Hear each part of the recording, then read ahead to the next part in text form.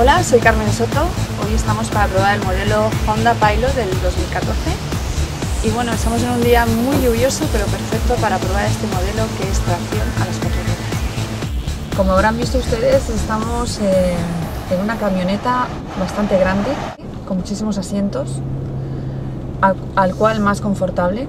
He probado todos, o sea que no sabría con cuál quedarme, pero bueno, como estamos conduciendo me quedo aquí en el principal.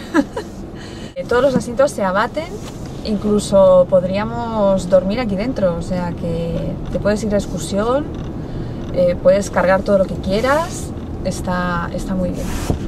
Conduciendo aquí la verdad es que te sientes muy seguro, es, es muy grande, muy, muy alta y eso para mí me da muchísima seguridad. Tiene muchísima visibilidad.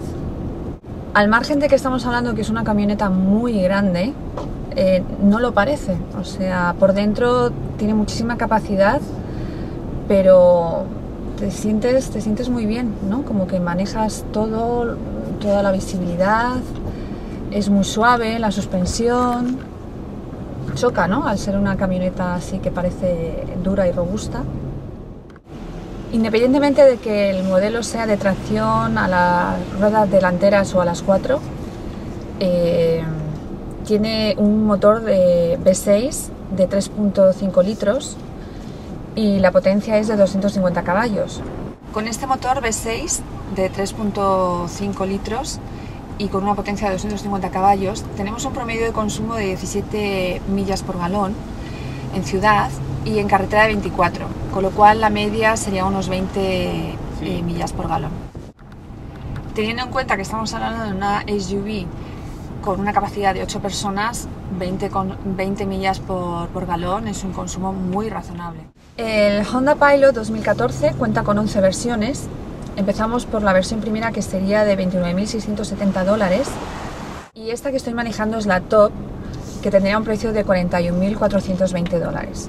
Y en esta versión pues tiene todo desde la cámara reversa, los asientos de cuero, navegación, la puerta trasera automática, todo lo que te puedas imaginar. Honda Pilot empezó en el 2002 y este es el último modelo de la segunda generación. O sea que será nueva en todo en el 2015.